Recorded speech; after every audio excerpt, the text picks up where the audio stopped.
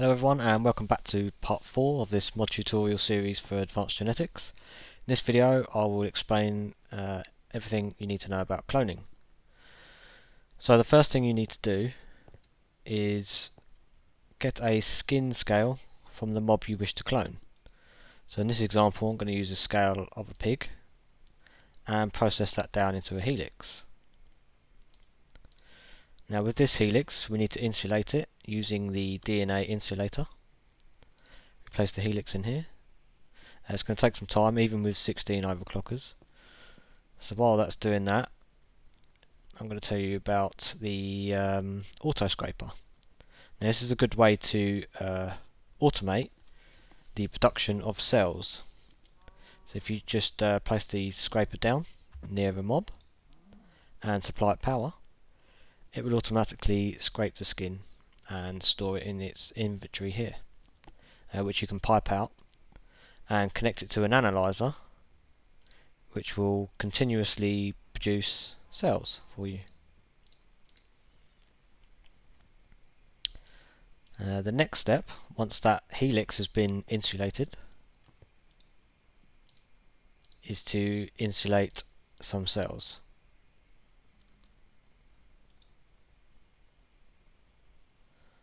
Now these insulator cells stuck up to 16, unlike the uh, previous uh, production of a cell.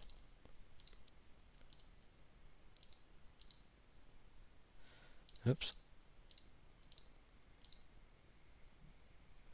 So the next step is to get yourself a DNA cloner. I'll just remove this quickly. We place the uh, helix of the mob that we wish to clone in the bottom slot there. And the insulated cells in the inventory to the right here. And it should spawn a pig. Now another really cool feature is you can place a syringe with um, a set DNA with an ability and uh, inject that ability into the uh, creature being spawned by the cloner. So there's two ways you can do this. You can directly take your own DNA and centrifuge it and place it into the cloner.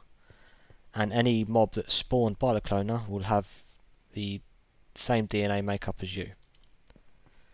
Or you can isolate an ability. So if we take this infinite milk and breed it up. We need six of these. Four, five, six. Just quickly breed it.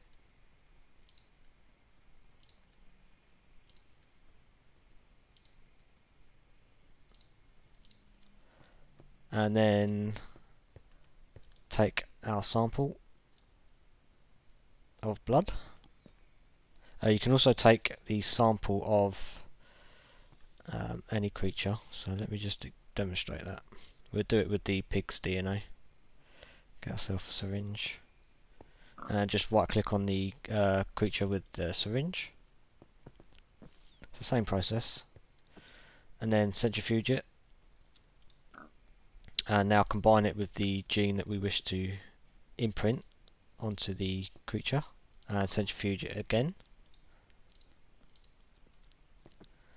So now we have the infinite milk gene in this syringe and we place it here. And just kill this pig.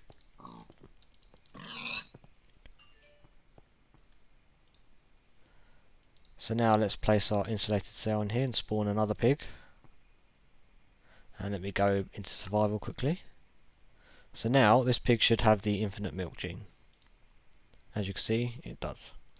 Uh, I don't know why, but it keeps giving me this ghost image. It must be a bug.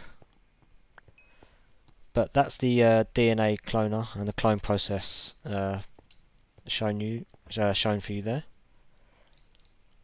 Um, and in the next video, and the last video, I imagine, I'll show you um, a few of the remaining items. So thanks again for watching, and I'll see you again soon.